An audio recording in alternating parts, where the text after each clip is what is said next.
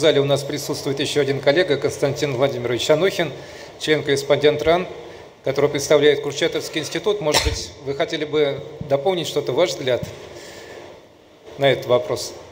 Знаете, здравствуйте. Я вообще думал, что, может быть, надо э, вопросы начинать, потому что времени не так много. Может быть, в ходе вопросов мы можем что-нибудь еще обсудить. Что? Я согласен со всеми предыдущими выступающими. Это первое. Константин Владимирович, может быть, я вам адресую Нет, это, вопрос? это действительно. М? Я, может быть, вам адресую первый вопрос, поскольку, мне кажется, он Давайте. в значительной степени к вам. Самый популярный вопрос у нас, кто все-таки кем управляет, мы мозгом или мозг нами? Э, это тот же вопрос, который был в э, заголовке. Что дает нейронаука для понимания человека? Значит, если относиться к этому вопросу серьезно, подумайте о том, что сегодня наш мозг находится не в том месте. Он находится среди всех остальных органов. Исторически сложилось так, что мозг изучался в рамках физиологии, анатомии, медицины.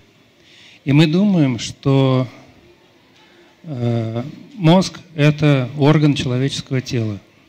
Это правда только отчасти. В мозге такие же клетки.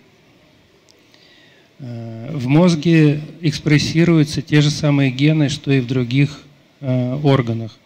Клетки состоят из белков, мембран, контактов между ними.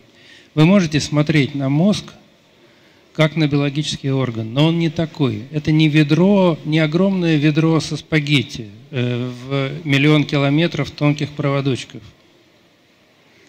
Потому что и нейроны и нефроны имеют биологическую структуру, но нейроны, э, нефроны продуцируют мочу, а нейроны продуцируют мысль.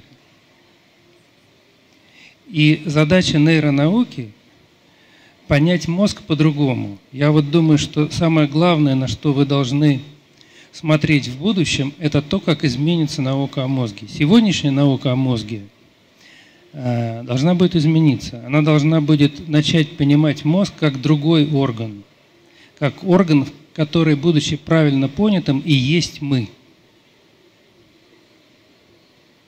Вы можете отрезать один э, участок э, человеческого тела и заменить его искусственным, другой участок человеческого тела, пока вы не отрежете голову или не пересадите ее в другое место. Вы пересадитесь вместе с э, тем, что вы пересадили, вместе с мозгом.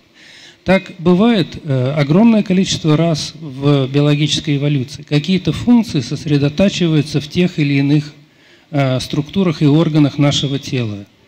Так случилось, что мы с вами сосредоточились в мозге. И если мы правильно поймем, э, как устроен мозг на этом высшем уровне, как он организован, а это научная задача. Она не беспредельная, она вполне обозримая.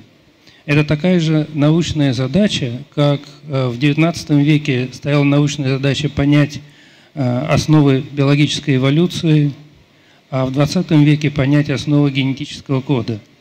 Сейчас э, у нас стоит задача, которая состоит в том, чтобы понять, что такое мозг на не его минимальном уровне, где он такой же, как все остальные органы, а на его высшем уровне, где он и есть мы.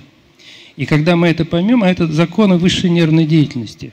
Вообще эта идея существовала очень давно, с 18 века у разных мыслителей. Павлов занимался этим как физиологией высшей нервной деятельности.